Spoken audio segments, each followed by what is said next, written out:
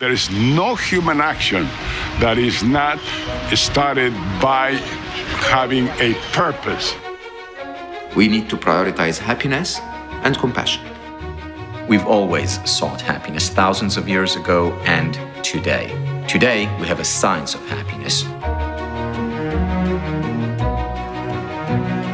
People can be happy in whatever situation they have. When I was eight years old, my parents both died in a car accident.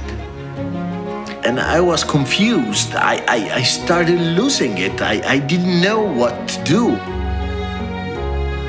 What I wish I knew when I was younger is that being depressed doesn't mean there's something wrong with you, it means there's something wrong.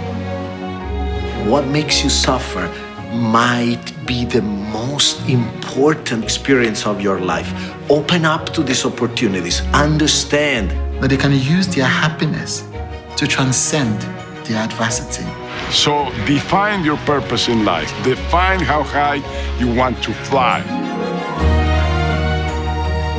Both the hero and the wimpy man are actually fearful. If we want to be happier, we first need to allow unhappiness in.